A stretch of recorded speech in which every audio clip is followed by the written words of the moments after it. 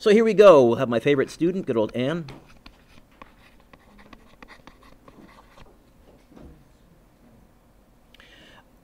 A five kilogram object is pulled at a constant speed. Humbly, I suggest that's probably important. By a horizontal 12 Newton force as shown in the diagram below. What's the coefficient of friction between the object and the surface? So it looks like this question is asking me to find, hey, what's mu? I don't know, what's mu with you? I think that probably means it's a job for a good free body diagram. I have gravity down. I have normal force up. I know those two are the same because there's no other vertical forces in this picture. I have, typically we've started calling this the applied force. We have friction. Why did I underline constant speed? What does that tell me? Yeah, forces are balanced. So that gives me a shortcut. Megan, I can actually say I know that the applied force has to equal friction. You could go, who's winning that, who's losing that, but it would be equal zero. And trust me, when you do that equation, you'll get that.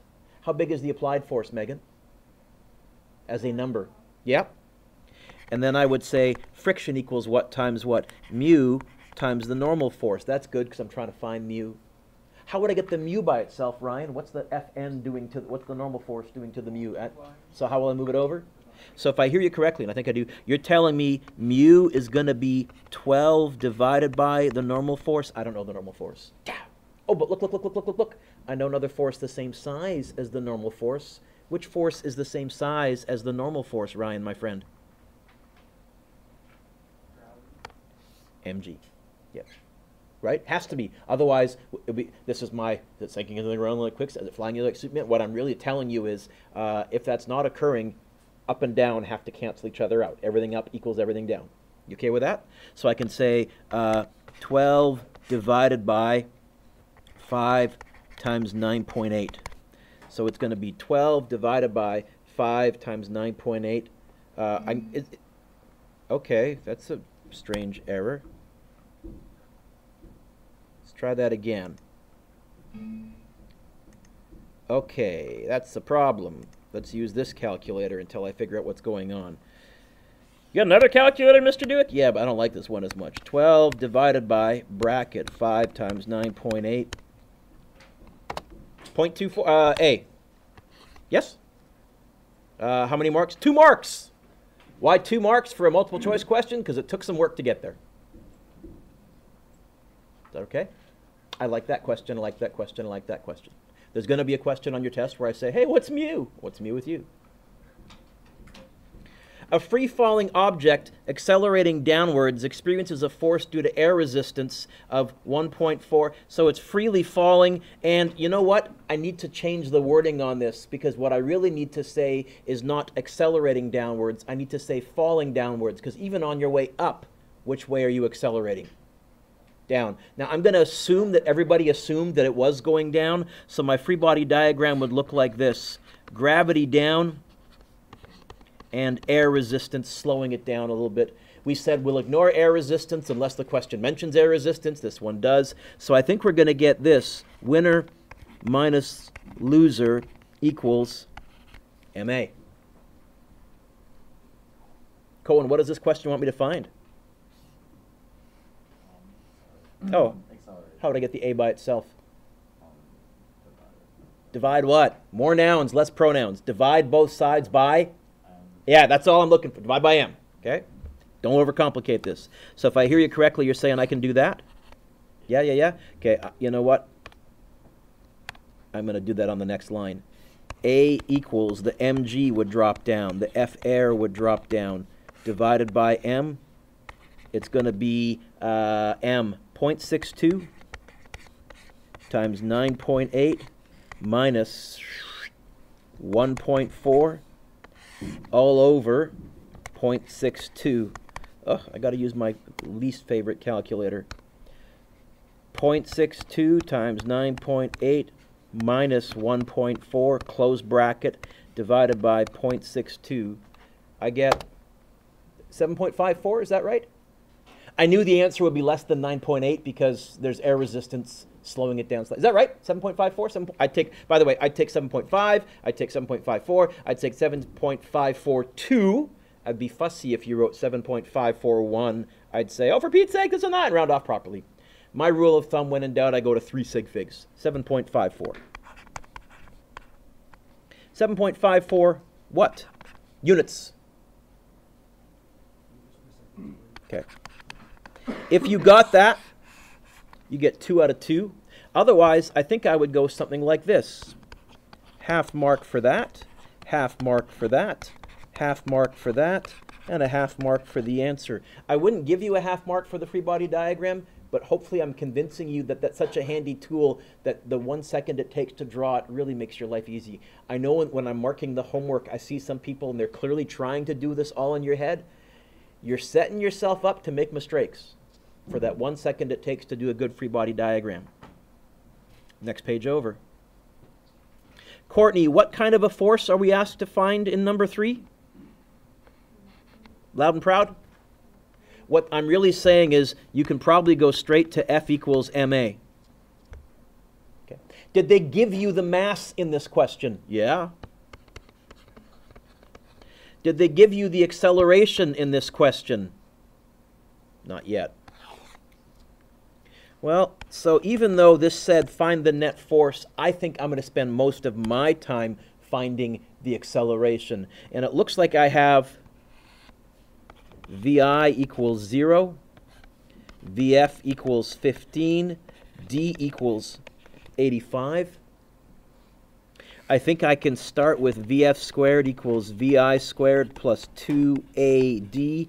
I think I can go A equals VF squared minus VI squared all over 2D. I think I can go 15 squared minus 0 squared all over 2 times 85. That's going to give me an acceleration of, oh, got someone else coming in. Right click, pause the video. Uh, it's going to be bracket 15 squared minus 0 squared, which I probably didn't need to type, divided by bracket 2 times 85. I get an acceleration of 1.32352. I'm going to write 1.32, but I'm going to use my answer button. And now I'm going to take this and plug it over here. Oh, wrong one. Going to be 1200 times, where's the answer button on this thing? Right there. You get uh, 1588, you know what? I'm going to call it 1,590. I would take 1,600 to 2 sig figs, but I'm going to write it as 1,590 newtons. If you got that, 2 out of 2. Otherwise, I would probably give something like uh, half mark for finding the acceleration. I would probably give you a half mark if I saw that. I would give you a half mark, yeah, just for writing F equals MA, and a half mark for the answer. Uh, 12 kilogram block initially at rest, I have a feeling that's going to be important, is pulled 16 meters across a floor by a 56 Newton force. Okay, the coefficient of friction is 0.24. What's its final speed? Oh. Wants me to find V final. Okay. Sorry, not VI, Mr. Duke, VF. What else have they told me? Now, I know they've told me the mass, but I don't recall using mass to find V final. So even though they told me that, Ryan, I'm not going to write it down yet. What does at rest tell me? Oh, like that. Oh, D equals 16. You know what? If I can find the acceleration, then I can find V final by using VF squared equals VI squared plus 2AD. So even though this question is asking me to find V final, you know I'm going to spend most of my time finding? Acceleration. By the way, I think I like number four. I think I like, in, in that, in on your test, I guarantee either I'm going to make you find acceleration using forces and then do something with it, finding VF or VRD. Or I think I like example three. I think I might ask you to do something with finding VF, VIRD, and then use that to plug in the acceleration for forces and find mu or something like that. Okay? I need a free body diagram. What are the forces acting on this? I got gravity down, normal force up. Here's the applied force. Here's friction. Who's winning? I think it's accelerating to the right. I think friction. So I'm going to go friction. No, it's friction, not friction. I think applied force. Did I say friction? Applied force minus friction equals ma. Cohen, how would I get the a by itself? That's what we're looking for. Look at that with nouns and everything. I like that.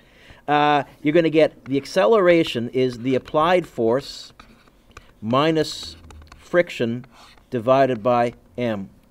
I don't know friction. Oh, it's going to be the. How much room have I got here? Did I leave you lots of room? I did. I got one more line. I can go down. The applied force minus friction is what times what? Mu times the normal force. I don't know the normal force. Oh, but look, look, look, look, look, look, look. I know another force the same size as the normal force. Ryan, which one? Yeah, yeah. Now, be careful. I think there's going to be one later on. Oh, no, I think there's going to be one on today's take home quiz where there's another vertical force in the question. So the normal force won't be mg, and I will be putting one of those on your test. Okay? Uh, anyways, uh, I can go mu mg, and now I'm a happy camper. It's going to be 56 minus 0.24 times 12 times 9.8 minus, or sorry, minus, divided by 12, I get an acceleration of, so the reason I don't like this calculator is it doesn't work very well with my mouse. Anyways, 56 minus 0.24 times 12 times 9.8, close bracket, divided by 12. You get an acceleration of 2.31466, but that there, I'm going to write 2.31. And now, here we go. VF squared equals VI squared plus 2AD. What did I really want to find in this question? VF. Oh, how would I get the VF by itself from this equation here? And you know what? I can even do that because VI is 0. Yay! So VF is going to be the square root of 2 times 2.31. I'm going to use my answer button. Times 16. I'm going to go 2 times answer button times 16. Square root of that. Where's the square root on the square root answer button? Whew. You get 8.6, 8.61 if I go to 3 sig figs. 8.61 meters per second. If you got that, Matt, I'll give you three out of three. Otherwise, I would do something like this. I would almost certainly give you a half mark if I saw that equation. I would give you one whole mark for finding the acceleration because it seems to me that that's half of the job. I would probably give you one whole mark for that, and I would give you a half mark if I saw that equation there. I think that adds to three. And then I would turn the page. Mr. Dueck, what Lydia? Who was the artist that drew that spectacular skier? Mr. Dueck, I almost found it distracting. It was so, well, thank you, Lydia. I'm quite proud of that. I, I, I drew that. Okay. I thought. I like number five. I like number five. I like number five. What do I mean by that? Courtney, on your test, I guarantee I'm going to give you an applied force, a coefficient of friction, and say find the acceleration. Although on your test, I might even add another vertical force in some way. This one here, to me, is a little bit too plug and chuggish, but barely. So I might leave it this way on the test. Anyways, let's go skiing. Uh, cross-country skier is moving horizontally. The what's her acceleration? What are the forces acting on this skier? Get the obvious one. Gravity down. Normal force up. Um, I guess I'm, you could call this uh, pull. It's the applied force. And uh, friction. By the way, who skis? No one anymore? Okay. Oh, sorry. Uh, ski or snowboard? Who snowboards? Okay, so for, for both of them, uh, in skiing, the slow pa- the snow plow stop, or in the snowboard when you turn your board perpendicular, all you're doing is increasing the force of friction. That's how you bring yourself to a stop. Which again, you figured out very quickly, or you face plant, but there's the physics of it. It also means I have given you the simplified version of friction because when you snowboard and you turn your ski, your snowboard perpendicular, have you changed mu no, because it's still a snowboard and it's still the snow. Have you changed your mass? No. There's actually a more complicated version that looks at the angle that you hold the board, because I think you also you tilt the board, you push down on it. Yeah, we can. We can, there's black holes of we can really dive down into how complicated we want to get into all of these forces. I'm giving you the physics 11. Here's the introduction to Newton's laws, forces. Hey, Lindsay, who's winning? I know I caught you with your eyes closed. My bad. Who's winning?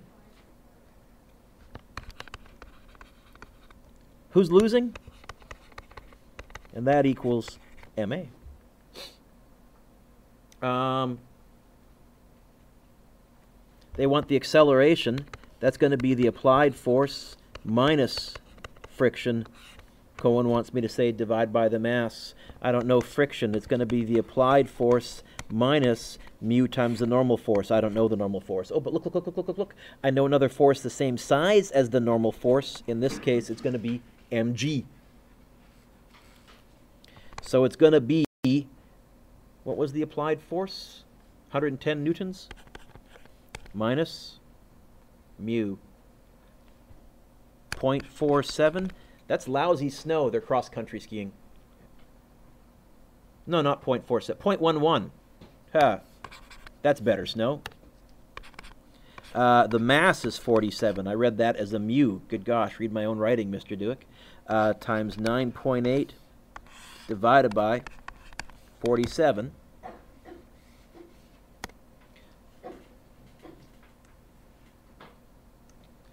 Bracket 110 minus 0.11 times 47 times 9.8 divided by 47.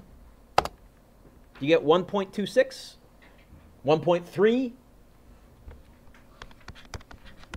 units. It's an acceleration meters per second squared. If you got that 3 out of 3, otherwise I would probably do something like this. 1, 2, 3, 4, 5. Yeah, I'd probably do something like uh, a half mark if I saw that. I'd give you one whole mark if because that to me is the equation. You've got the A by itself. Half mark, half mark for the numbers half mark for the answer. Again, John, this time I didn't give you marks for the free body diagram, but I would argue that's really what was the key to solving this lovely question. Last one. Hey, what phrase would I underline mentally or actually in number six? That's going to be important a box sits on the floor. They're talking about a coefficient of friction. You know what, Alex? I think I want to do a free body diagram. What are the forces acting on this? Gravity down. Normal force up. Applied force. How long should I draw the friction arrow compared to the applied force? Bigger, smaller, or the same size? Why same size? Steady speed. I wouldn't take marks off if you didn't do that, but you'd probably get the wrong equation if you didn't do that. Because it turns out who's winning? It's a trick question. It's a tie. The forces are, I'm looking for a word that begins with letter B, balanced. So I can say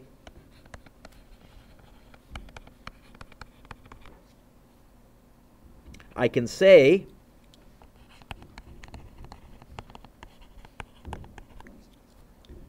I can say, I don't know the normal force, oh, but look, look, look, look, look, look. I don't know the force same size as the normal force. In this case, mu mg. So what's mu? I don't know. What's mu with you? 0.32, 20, times 9.8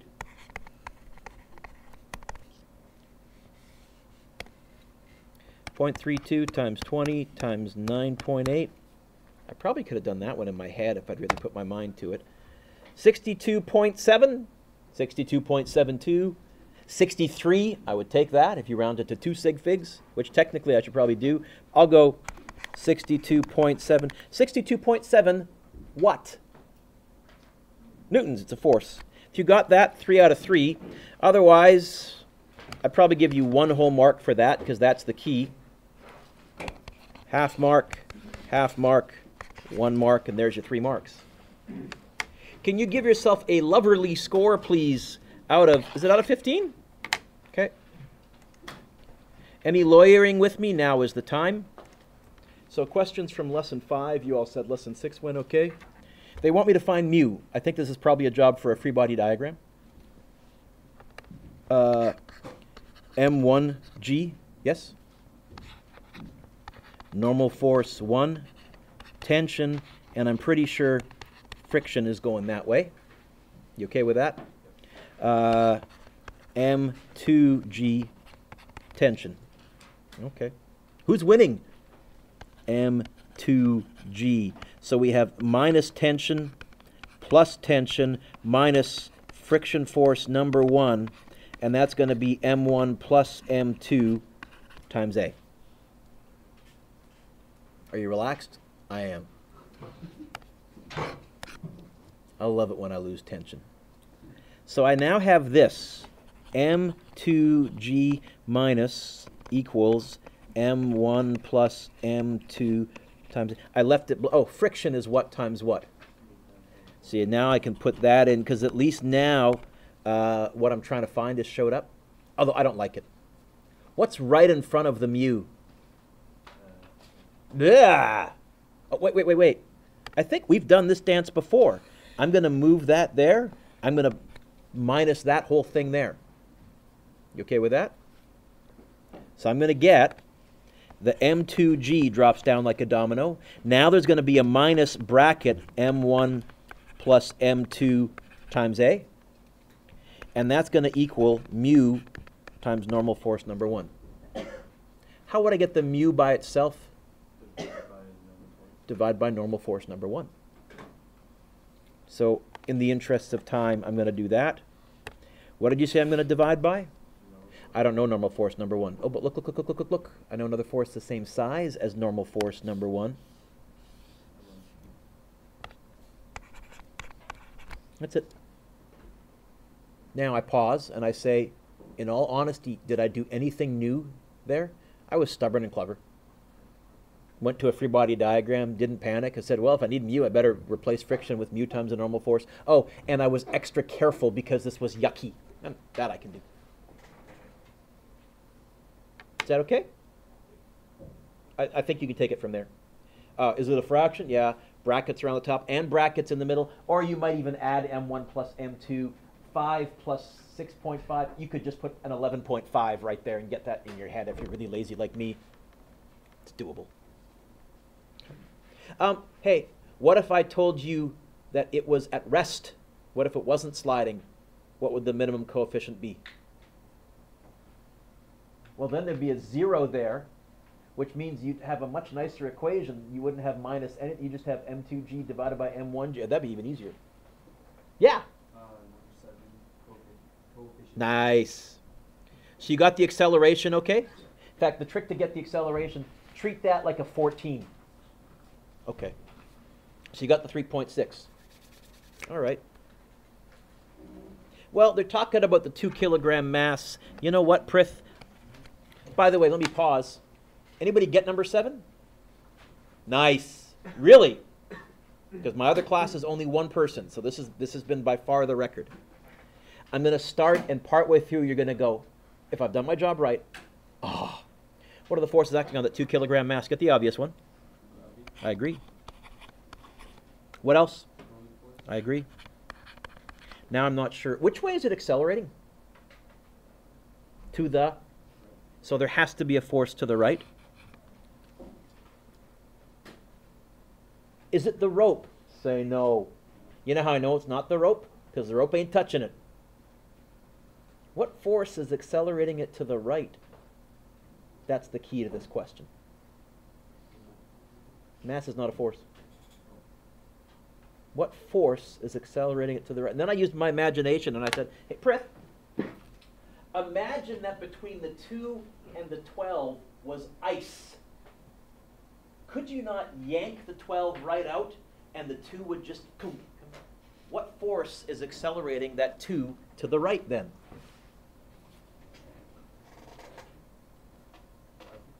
Gravity straight down. What force is accelerating it to the right? Trevor. Yes! That's the key. Turns out what's moving the 2 to the right, if I just look at that, is friction. Which is good because what was this question asking me to find? Mu. Does friction contain a mu? Oh, thank God. I'm glad that is. So, Prith, that's it. Who's winning? Who's losing? Trick question. You get friction equals ma. Which a? That a. And now mu times the normal force, get the mu, see if you can get the mu by itself. That's the key. Kind of a neat one that way. Mr. Derrick, is there going to be one that half on the tap? Courtney, relax. No. But it's cool. Anybody for number 12?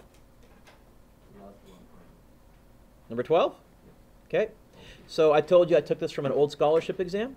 Okay. And actually, the scholarship exam only asked part D. It didn't walk you through everything. Who got number 12? Anybody?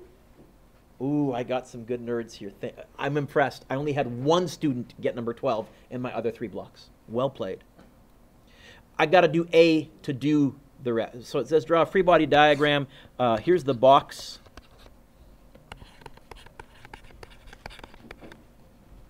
Here's the elevator. Andy, what are the forces acting on the box? Get the obvious one. What else?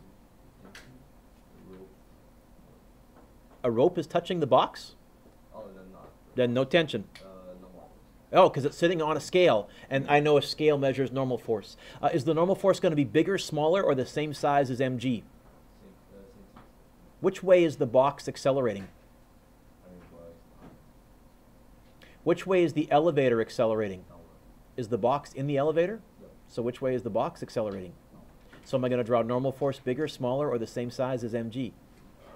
See it? Okay, that, that, that's the next chain of reasoning. So who's winning? Who's losing? Normal force. I would argue I can use this to find the acceleration of the box. Is the box in the elevator? Yep. Then I've just found the acceleration of the elevator. Have I not? If the box is in the elevator? Yeah, yeah, yeah. Let's draw a free body diagram for the elevator. What are the forces acting on it? Get the obvious one. Uh, you know what? I'll call it big M. That's a trick we'll often do. The bigger mass will use a capital M. The smaller mass will use a lowercase m. So any physics nerd glances at that and knows little m is the box and big M is the elevator. You could also call them M1 and M2. I just don't want to get them mixed up. What else? Friction. Which way? Bigger, smaller, or the same size as big mg? Which way is it accelerating? Which way is it accelerating?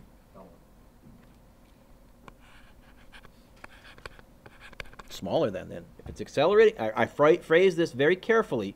It accelerates downwards. It's slowed slightly. What we're saying is it's not accelerating at 9.8. It's accelerating. By the way, you're going to get an answer less than 9.8. Okay? With me so far? Who's winning?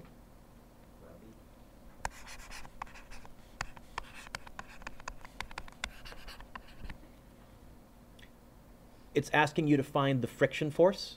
What's right in front of the friction force? No, right in front of the friction force.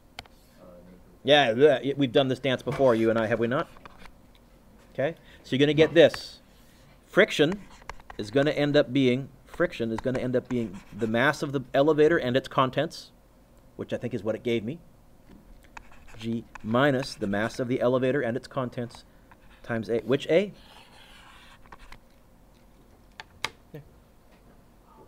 Yeah.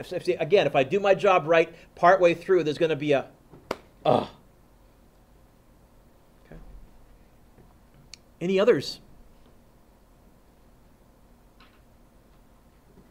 So what are we working on today?